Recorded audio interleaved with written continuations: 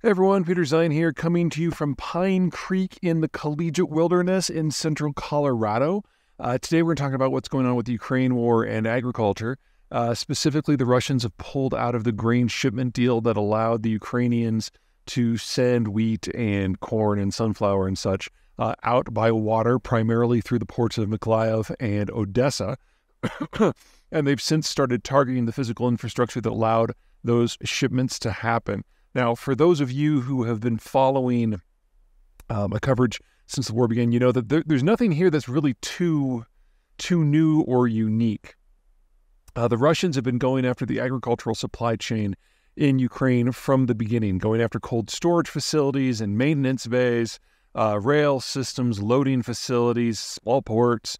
Uh, there's nothing new here. Uh, the exception, of course, is stuff for export that came to a handful of very specific ports that were in a deal that was uh, brokered by Turkey and managed by the United Nations. And that's the deal that the Russians have now uh, pulled out of. And so the Russians have really just expanded the scope of their attacks to the facilities that are specifically linked to that deal and ones that allow the Ukrainians, sorry, it's a little chilly here, uh, ones that allow the Ukrainians to export in general.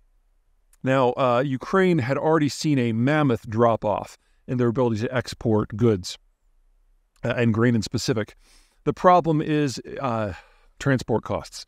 Um, for those of you who've been following me from the beginning, you know that moving things by uh, ocean-going carrier is about one twelfth the cost of moving it by truck. And so, having Odessa and Mykolaiv and um, Mariupol and all the other facilities offline because of the war or constrained uh, has really hurt the uh, Ukrainians a lot. They have attempted to divert some cargo to the Danube, and river ports are still you know, maritime transport, but the the sort of bulker that can operate on a river is significantly smaller. You're talking maybe at most 10,000 uh, deadweight tons versus 100,000 for an ocean-going bulker that can dock at Odessa.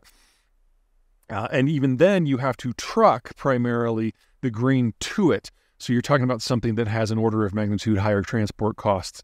Uh, and then it's competing with roads and trucks for everything else that Ukraine needs right now. There has been some effort to do rail. The problem is twofold. Uh, number one is distance. Uh, you've got to get not just to Poland or Romania, but through them. These countries were also significant grain exporters, and they viewed the Ukrainian grain coming into their markets as product dumping.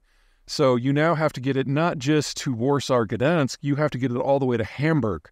Uh, and that means you need those rail systems for two and three times the distance that you originally thought.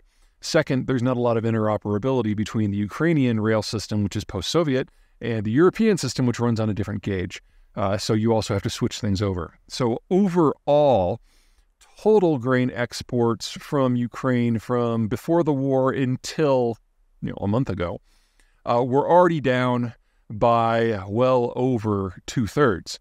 Uh, now we're looking at probably the rest of that going away because if you can't even get stuff to uh, the Danube, because the Russians are now bombing storage facilities right on the river, uh, right on the border with NATO.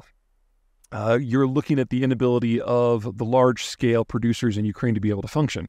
Remember that uh, agriculture writ large is one of the most financially dependent industries in the world. It uh, if something goes wrong, you don't just have to wait a season, you have to wait a year, maybe two, before you can kind of get things back online. So, not just for infrastructure repair, but think finance. Because if people who harvested grain a year ago are now discovering they can't even get it out of the silos to get it to the international markets, then they're not getting any income. They don't have income, they don't have the money to plant. So, this uh, winter wheat crop that is being harvested right now is probably the last one of size that we're going to see actually playing in international markets. So last year really was the last year that Ukraine is a significant agricultural producer. Now, the Russians are doing this for two big reasons. Number one, uh, they're trying to do anything they can to crush the Ukrainian economy. And number two, uh, now that they can't take out the power grid because it's summer and no one's going to freeze to death in the summer, they're going after the food supply system in order to, to trigger a deliberate famine. Uh, it's a pretty dark picture. There's no way you can expect this to get cleaned up very soon. Uh, what we've seen with the missile strikes on this sort of these sort of facilities uh, down in the Danube region or in Odessa is that Ukraine has gotten some decent air defense up in a few specific places, most uh, notably Kiev, the capital. But there's not enough to go around. And so these shots are still getting through. And it's unclear whether or not the West, even if it had the political will, uh, has the military bandwidth to spare more equipment in order to provide air defense for a country that is roughly the same size as Texas, um, building it from scratch. Certain things are more important than others. Kiev is obviously more important than Odessa. And uh, unless somebody is willing to intervene and protect maritime shipments, which is basically a declaration of war against the Russians, uh, this is probably the end of Ukraine as a significant food exporter. And very soon it is going to be a food importer because it will no longer have the capacity to grow enough for its own population. And that enters the war into a fundamental news phase. Uh, to that end, uh, one of the things that I've been encouraging people to do is to find a charity in Ukraine that helps people out.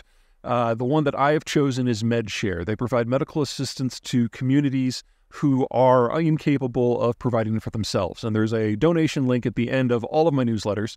Uh, I encourage you to tap that often. Uh, keep in mind that the newsletter is free and it will always be free, and I will never share your data with anyone. But in exchange, if you do come across something that you find useful and that you think you would have paid for, just kick a little change to MedShare. I would appreciate it. Or find your own. Um, Médecins Sans Frontiers is a great one. The Red Cross, UNICEF, these are all organizations that are operating aggressively in Ukraine to try to alleviate the human suffering that has been caused by the war. All right, that's it. Bye.